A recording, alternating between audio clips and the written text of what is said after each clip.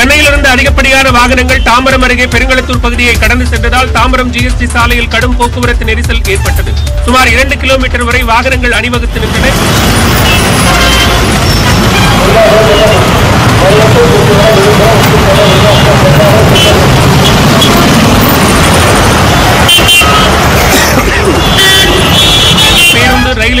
கிடைக்காதவர்கள் மட்டுமின்றி சுங்கச்சாவடி போக்குவரத்து நெரிசலில் சிக்க விரும்பாதவர்கள் இருசக்கர வாகனங்களில் பயணம் மேற்கொண்டனர்.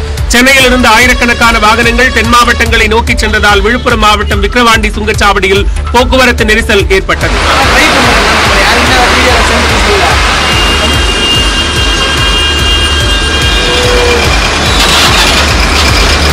வெள்ளிக்கிழமை நண்பகல் 12 மணி முதல் இரவு 12 மணி வரை நாற்பதாயிரத்திற்கும் மேற்பட்ட வாகனங்கள் சுங்கச்சாவடியை கடந்து சென்றுள்ளதாக சுங்கச்சாவடி நிர்வாகம் தெரிவித்துள்ளது. இது வழக்கத்தை விட இரண்டு ஸ்டாண்ட் அப் இந்தியா ஸ்கீம்ல ஒரு கோடி ரூபாய் அளவுக்கு கடன் வாங்கி உங்க சொந்த பிசினஸ் ஆரம்பிக்கணும்னு நினைக்கிறீங்களா?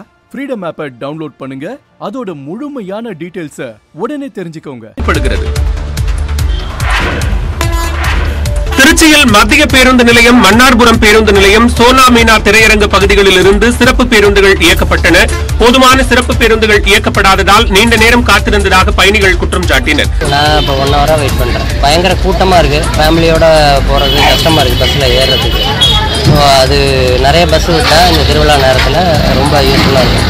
கோவை சிங்காநல்லூர் பேருந்து நிலையத்தில் பயணிகள் முண்டியடித்து ஏறுவதை தவிர்க்க போலீசார் பயணிகளை வரிசையாக நிறுத்தி பேருந்தில் ஏற வைத்தனர். காவல்துறையின் இந்த நடவடிக்கையால் தள்ளுமுள்ளு இல்லாமல் பேருந்தில் ஏறியதாக பயணிகள் தெரிவித்தனர். பின்னலாடை நகரமான திருப்பூரில் சிறப்பு பேருந்துகளால் அவினாசி சாலை பல்லடம் சாலை உள்ளிட்ட பகுதிகளில் போக்குவரத்து நெரிசல் ஏற்பட்டது. ரயில் மூலம் பிற மாவட்டங்களுக்கு செல்வோர் திருப்பூர் ரயில் நிலையத்தில் குவிந்தனர். முன்பதிவு இல்லாத பெட்டியில் கால் வைக்க முடியாத அளவுக்கு பயணிகள் கூட்டம் இருந்தது.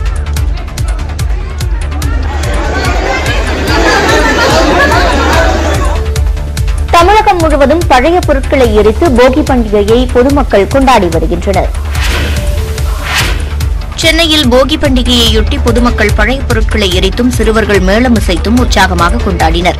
சென்னையில் அதிகாலை வேளையில் பொதுமக்கள் பழைய பொருட்களை வீட்டின் முன் தீயிட்டு கொளுத்தி பண்டிகையை கொண்டாடினர். அப்போது சிறுவர்கள் மேளம் அடித்து மகிழ்ந்தனர்.